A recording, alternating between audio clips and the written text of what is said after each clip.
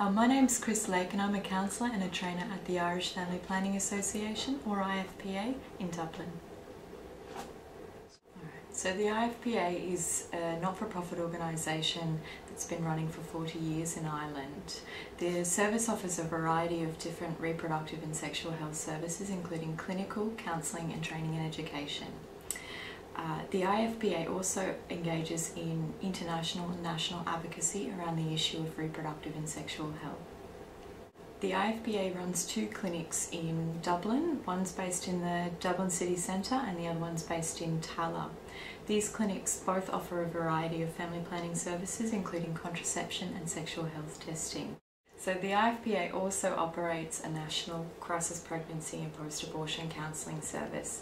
This service is free, confidential and all IFPA counsellors will offer three options available for a crisis pregnancy. That includes parenting, adoption and termination.